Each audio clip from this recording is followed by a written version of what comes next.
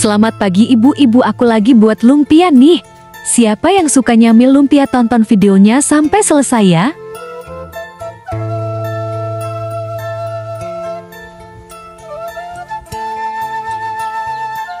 Ini aku tunjukkan bahan-bahannya. Simpel kan tapi kalau udah jadi rasanya bikin nagih loh.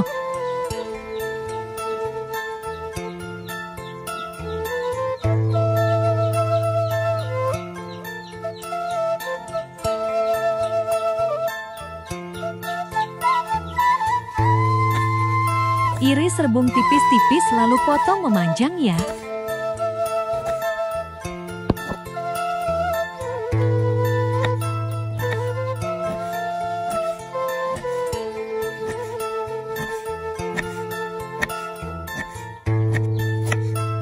Wortelnya juga iris tipis kemudian potong memanjang ya. Sebenarnya pakai pasah juga nggak apa-apa.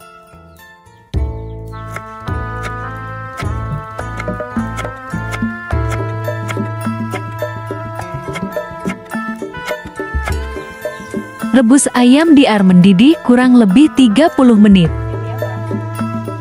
Jangan lupa kasih garam sedikit. Sambil menunggu ayam empuk blender bumbu untuk isiannya. Lanjut iris daun bawang dan seledri.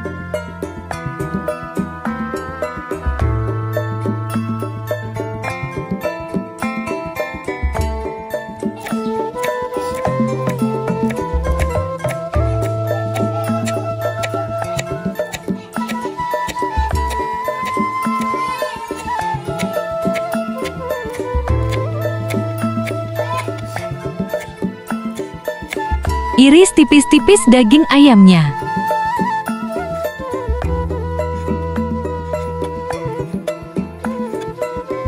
Tinggal tumis nih, setelah bumbu tercium harum masukkan wortelnya.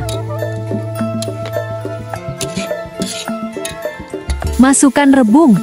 Oh ya rebungnya direbus 10 menit dulu ya. Tambahkan gula dan garam. Kasih sedikit lada bubuk.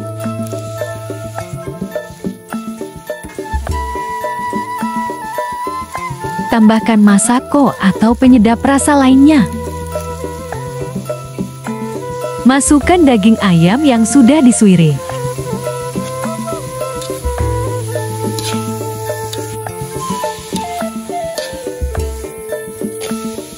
Masukkan kecambah.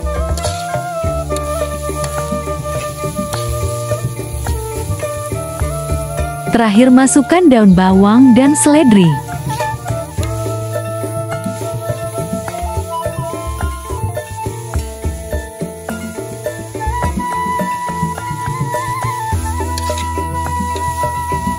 Taburkan bawang goreng ya biar makin enak.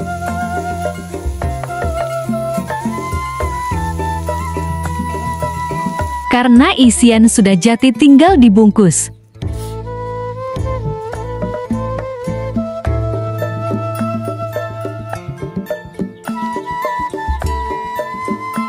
Olesi dengan putih telur bagian pinggirnya ya, biar lengket.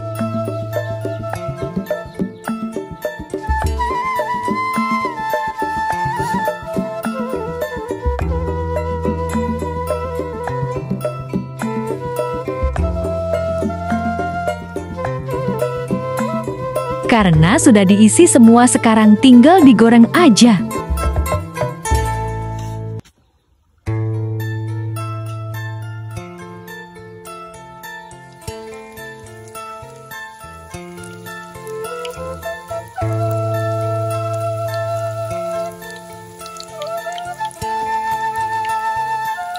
Ayo ibu-ibu dicoba resepnya, jangan sampai ketinggalan video aku ya.